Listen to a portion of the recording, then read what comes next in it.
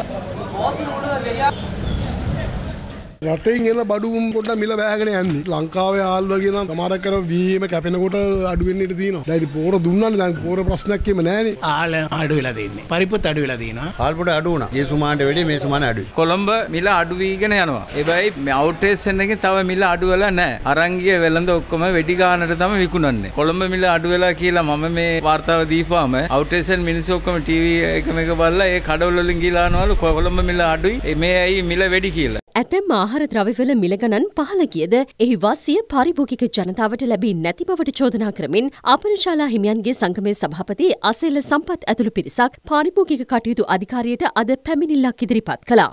මේ වන විට වෙළඳ පොළ තුල අත්‍යවශ්‍ය භාණ්ඩ කිහිපයක මිල ගණන් අඩු වෙලා තිබෙනවා. ඒ වගේම අපි පැත්තෙන් අපි ආපන ශාලාවල ප්ලේන්ටියයි බත් පැට්ටේ මිල ගණන් අඩු කරා. ඒතර මේ වාසිය පාරිභෝගිකයාට තවම ගිහිල්ලා නැහැ. අද බිත්තරයක් රුපියල් 63යි. අද කුකුල් මස් කිලෝ එකක් 1500 පැනලා. අඩුවානේ පොඩියන්ගේ සහ වයසකයාගේ කුස පුරවන බිස්කට් එකක් අසීමිත මිල ගණන් ගිහිලා තියෙනවා. ඒතර මේවට නියාමනයක් කරෙන්න ඕන. කරුණාකරලා මේ භාණ්ඩ මිල වහාම වෙළඳ පොළ තුල අපිට ලබා දෙන්න. තනිකර ව්‍යාපාරිකෝ මේක සම්පූර්ණ කලදුටු කළ වලහිය ගන්න වැඩක් තියෙනවා. අනිත් පැත්තෙන් කම්පැනි වල තිබෙන සියලු නිෂ්පාදන වල මිල ගණන් ගහලා තියෙනවා. ඒක බලන්න අන්වීක්ෂයක් ඕන. ඒ නිසා කරුණාකර මේ ගහන සෑම භාණ්ඩයක මිල පැහැදිලි පෙන්වන ආකාරයෙන් ගහන්න ඕන.